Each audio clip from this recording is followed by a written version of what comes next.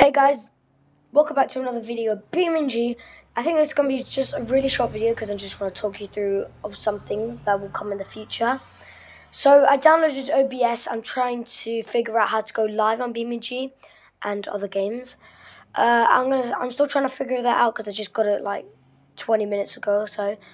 Um, so I'm gonna try to get that fixed.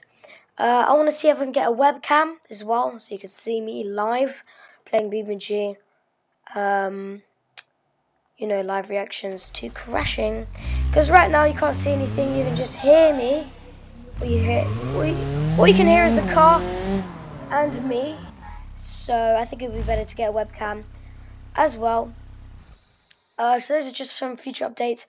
Um, but yeah, uh, I'm trying to get a, I'm getting a new uh, speed thing so my internet's a lot faster, so I can upload uh, videos a lot faster. Um, but without further ado, that is it for today. Have a great day and goodbye. Thanks for watching, and hopefully those updates come by the end of the year. They should.